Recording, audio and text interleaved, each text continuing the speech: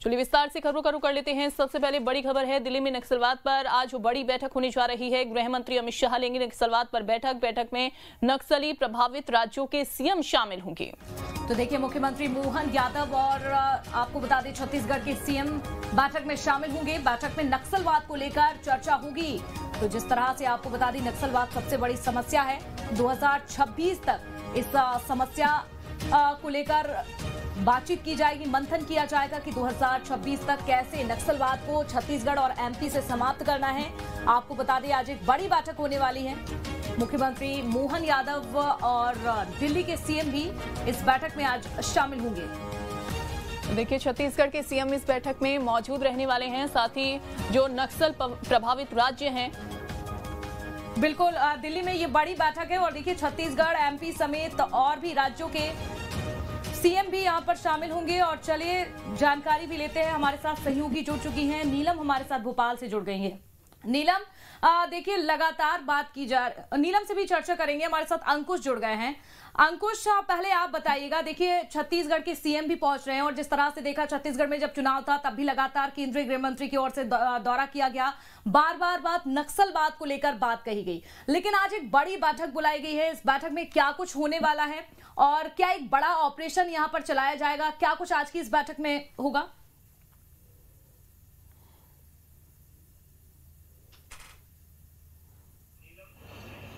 देखिए दिल्ली में जो बैठक होने जा रही है वो नक्सल प्रभावित राज्यों के मुख्यमंत्रियों के साथ आज केंद्रीय गृह मंत्री बैठक करेंगे।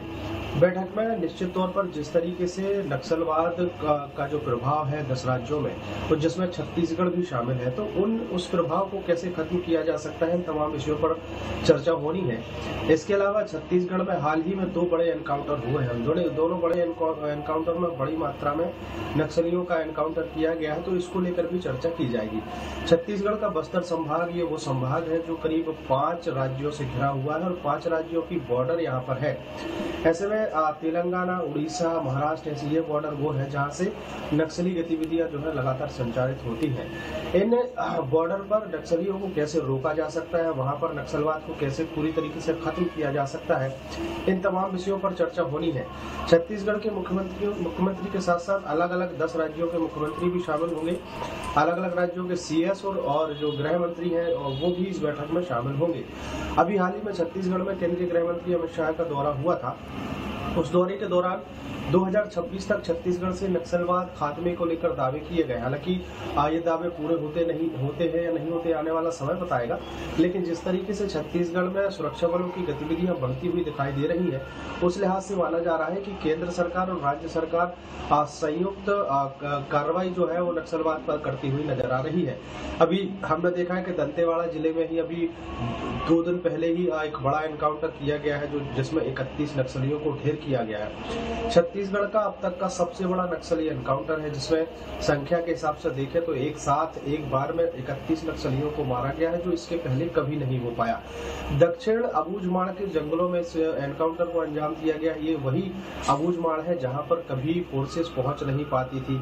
अनछुआ यह इलाका ये कहलाता था, लेकिन अब धीरे धीरे फोर्सेस बढ़ रही है। तो स्वाभाविक है कि जिस तरीके से केंद्रीय गृह मंत्री का भी दौरा हुआ था छत्तीसगढ़ में, उस दौरे के दौरान लगातार जो बैठकों बैठकों का सिलसिला हुआ, चला था और बैठकों में रणनीति बनी थी, उस रणनीति का कहीं ना कहीं काम होते हुए दिखाई दे रहा है।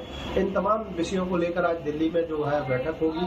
राज्य को अगर किसी भी प्रकार की कोई आवश्यकता है, केंद्र सरकार से कोई मदद लेनी है तो उस पर भी चर्चा होगी और केंद्र केंद्र सरकार के प्लान के हिसाब से राज्य में और कौन कौन से कैसे कैसे काम किए जा सकते हैं भी चर्चा होगी चर्चा होगी। अंकुश नीलम भी हमारे साथ जुड़ी हुई है। नीलम देखिए छत्तीसगढ़ में लगातार घटनाएँ सामने आती है। नक्सली यहाँ पर लगातार एक्टिव है। हालाँकि सरकार और पुलिस प्रशासन की ओर से लगातार जवाब दिया जा रहा है। लेकिन अगर एमपी की बात करें चाहे डिंडोरी बालाघाट मंडला यहाँ पर अक्सर ही नक्सली जो है देखे जाते हैं एक्टिव रहते हैं। तो क्या एमपी में इसको लेकर भी एमपी को लेकर भी चर्चा की जाएगी? किस तरह की रणनीति इस बैठक में देखने को मिल सकती है? बिल्कुल और नीलम साथ ही ये भी बताइएगा अपडेट जरा दीजिएगा इसमें। चूँकि आपने इससे पहले बोला था कि थोड़ी देर में विज्ञान भवन के लिए रवाना होने वाले हैं मुख्यमंत्री तो क्या रवानगी उनकी हो गई है? और बैठक का समय भी आपने 10 बजे तक का बताया था।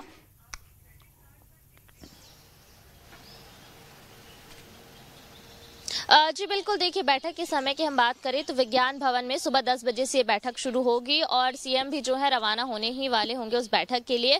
हम बात करें अगर मध्य प्रदेश के संक्षेप में यहाँ पर, संदर्भ में तो देखिए, मध्य प्रदेश के में नक्सलवादियों की एक्टिविटी जो है कभी कभी देखने को मिलती है। खासतौर पर जो मध्य प्रदेश का बालाघाट, मंडला और डिंडोरी, यहाँ की कुछ ऐसी विधानसभाएँ हैं जहाँ पर जो है नक्सलवाद को लेकर के हमेशा ही सेंसिटिव जोन माना जाता है। हालाँकि यहाँ से छत्तीसगढ़ जितनी गतिविधियाँ नहीं देखने को मिलती है, पर क्योंकि अगर हम बात करें खासतौर पर बालाघाट की तो ये जिला छत्तीसगढ़ से लगा हुआ है। इसलिए अक्सर ये माना जाता है कि जो छत्तीसगढ़ के आसपास के जितने भी इलाके हैं नक्सलवाद के प्रभावित, वहाँ से नक्सलवादी जब भी कोई बड़ा ऑपरेशन होता है, छुपकर जो है इन इलाकों में आ जाते हैं। तो ऐसे में क्या अभी स्थितियाँ हैं? सुरक्षा एजेंसियों के पास मध्य प्रदेश को लेकर के क्या इनपुट्स है? क्या यहाँ पर भी जो खतरा है, वो बढ़ता हुआ नज़र आ रहा है? और उसे किस तरह से जो है नियंत्रित किया जा सकता है? इन तमाम बिंदुओं पर जो है चर्चा की जाएगी। सीएम मोहन यादव इस बैठक में जो है शामिल होंगे, क्योंकि देखिए, दोनों ही प्रदेश में अगर हम बात करें तो जिस तरह से छत्तीसगढ़ सबसे ज़्यादा प्रभावित माना जाता है नक्सलवादी गतिविधियों के लिए,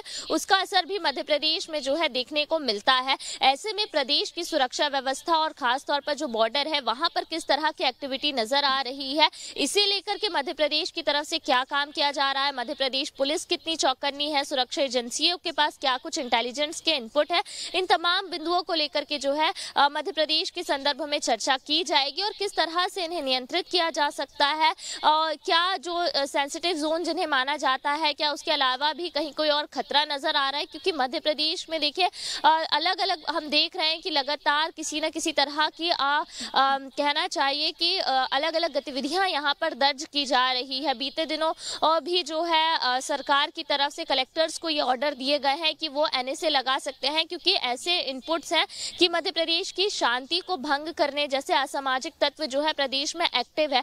तो क्या नक्सलवादी या नक्सलवाद जैसा कोई इनपुट यहाँ पर प्रदेश सरकार के पास है या नहीं? या सुरक्षा एजेंसियों के पास जो केंद्र की सुरक्षा एजेंसियाँ है क्या उनके पास इस तरह का कोई इनपुट है कि मध्य प्रदेश में किस तरह के और असामाजिक तत्व जो है लगातार एक्टिव हो रहे हैं और उनमें क्या नक्सलवादी या माओवादी जैसे कोई यहाँ पर असामाजिक तत्व है जिनकी गतिविधि मध्य प्रदेश में बढ़ती हुई नज़र आ रही है और उसे किस तरह से जो है कम किया जा सकता है कंट्रोल किया जा सकता है या किस तरह का एक्शन प्लान यहाँ पर जो है प्रदेश के लिहाज से हो सकता है? तो इन तमाम बिंदुओं को लेकर जो है चर्चा की जाएगी। काफ़ी अहम ये मीटिंग रहने वाली है और क्या खास इस मीटिंग में रहने वाला है, ये हम जान लेते हैं। राहुल से, राहुल हमारे साथ जुड़ गए हैं, दिल्ली से ज़्यादा जानकारी देंगे।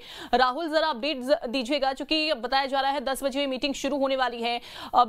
और क्या इसमें अलग रणनीति बनाई जाती है? क्योंकि बताया जा रहा है कि 2026 तक नक्सलवाद पूरी तरीके से खत्म कर दिया जाएगा राज्यों में। कई राज्यों के सीएम भी इसमें शामिल हो रहे हैं। मध्य प्रदेश, छत्तीसगढ़ के सीएम भी इसमें शामिल होंगे। खासतौर पर छत्तीसगढ़ में अलग रणनीति चल रही है नक्सलवाद को खत्म करने को लेकर। और क्या खास रहेगा? क्या अपडेट है?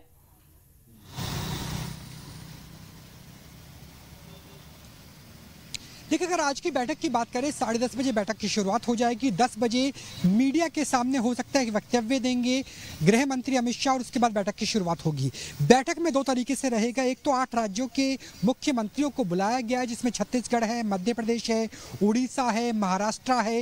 ये वो तमाम राज्य हैं जो आमतौर पर आंध्र प्रदेश, तेलंगाना, जो रेड आतंकवाद जिसे हम कहते हैं, रेड कॉरिडोर जिसकी बात की जाती थी, उससे जुड़े हुए राज्य हैं। हालाँकि पहले इसमें उत्तर प्रदेश भी होता था, उसके अलावा पश्चिम बंगाल भी होता था, लेकिन अब धीरे धीरे संकुचित हुआ है। अगर लेफ़्ट विंग एक्टिविज्म की बैठक की बात करें, जो केंद्र और राज्य सरकार साथ में है, इसकी शुरुआत मनमोहन टू सरकार में पी चिदम्बरम उस वक्त गृह मंत्री हुआ करते थे। उस दौरान की गई थी, जिसमें दो चीज़ों पर ज़ोर दिया जाता है। पहला ये कि कैसे आप टेक्नोलॉजी और इंफॉर्मेशन शेयरिंग करेंगे केंद्र और राज्यों के बीच, और राज्यों और राज्यों के बीच। जैसे जो बूढ़ा पहाड़ का इलाका है, अगर हम बस्तर के आसपास के इलाके की बात करिए वो ऐसा इलाका है जहाँ तेलंगाना, उड़ीसा और छत्तीसगढ़ छत्तीसगढ़ की सीमा है या फिर झारखंड मध्य प्रदेश और छत्तीसगढ़ की सीमा है जहाँ से आसानी से निकलना आसान रहता है और घने हम्म। वन क्षेत्र में भी है। ऐसे में अगर इंफॉर्मेशन शेयरिंग होती है राज्य और केंद्रों के बीच में तो ऑपरेशन करना ज़्यादा बेहतर रहेगा खासतौर पर जब कोबरा कमांडो के यानी सीआरपीएफ की जो स्पेशलाइज विंग है जो एंटी नक्सल ऑपरेशन एएनओ में काम करती है जो जंगल वॉरफेयर में निपुण माने जाते हैं उनके साथ काम हो सकता है। इंफॉर्मेशन शेयरिंग दूसरा टेक्नोलॉजी इनपुट कैसे हो सकते हैं? दोनों ही लिहाज से क्या नक्सलियों को चीन से से, पाकिस्तान से या भारत के बाहर से कोई टेरर फंडिंग मिल, मिलती है, उन्हें हथियार मिलते हैं, उन्हें टेक्नोलॉजी मिलती है नहीं मिलती? और अगर मिलती है तो उसमें इंटेलिजेंस ब्यूरो यानी आईबी जो गृह मंत्रालय के अंतर्गत आता है, उससे क्या रोल हो सकता है? उस पर भी बैठक की जाएगी। और साथ में टेक्नोलॉजी की बात करें, क्योंकि ड्रोन्स बहुत सारे अच्छे आ गए हैं। जिन ड्रोन के ज़रिए अगर कोई ट्रूप्स की मूवमेंट है लॉन्ग रेंज पेट्रोलिंग है कोबरा की या किसी और स्पेशल फोर्सेस की तो देख सकते हैं कि हमारे आगे कोई आईडी तो नहीं है। रोबोट्स जा सकते हैं, वो चेक कर सकते हैं कि आईडी तो नहीं है। आगे नक्सली छुपे तो नहीं हुए जंगल के अंदर। तो टेक्नोलॉजी वो ड्रोन्स की हो हीट सेंसिंग की हो थर्मल इमेजिंग की हो नाइट विजन डिवाइस हो, अत्याधुनिक राइफल्स हो, जिसमें बेरेटा है, जिसमें ए के फोर्टी सेवन या फिर जो अमेठी में बन रही है ए के टू ज़ीरो थ्री राइफल की बात करें क्लाशनिकॉफ की बात करें, वो शामिल हो सकते हैं, नहीं हो सकती। तीसरा जो महत्वपूर्ण और सबसे महत्वपूर्ण फ्रंट है, वो फ्रंट है विकास को लेकर के। कैसे केंद्र सरकार और राज्य सरकार की तमाम परियोजनाएँ नक्सल प्रभावित क्षेत्रों में जाएँगी जिससे जो वहाँ के आदिवासी लोग हैं जो मुख्य धारा से कटे हुए हैं वो मुख्य धारा में शामिल हो सके। अगर वहाँ शिक्षा होगी रोज़गार होगा स्वास्थ्य होगा केंद्र और राज्य सरकार की योजनाएँ होंगी बिल्कुल तो वो का लाभ मिलेगा तो नक्सली भी यहाँ पर मुख्य धारा से लौटेंगे और निश्चित तौर पर ऐसे में नक्सलवाद अपने आप खत्म होता हुआ भी नज़र आएगा। बहुत शुक्रिया नीलम अंकुश और राहुल आपका जानकारी साझा करने के लिए।